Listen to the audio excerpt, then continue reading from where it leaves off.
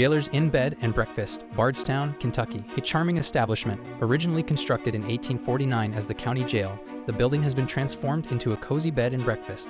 Limestone and calcite caverns run below the jail, which helps explain many of the hauntings. Former Sheriff Joseph Wilson, who died within the jail's walls, still roams the halls, while others attribute the hauntings to the countless inmates who spent their final days behind bars and are heard moaning and pacing the cells. One employee quit after witnessing a man glaring at her in the mirror while cleaning. The spirit of Mrs. McKay is thought to be a friendly presence, and guests wake up in the dark to find her standing at the foot of the bed, looking down on them.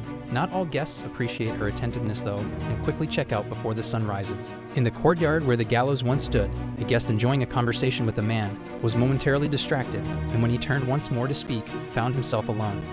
Reserve your cell today. Dare to visit?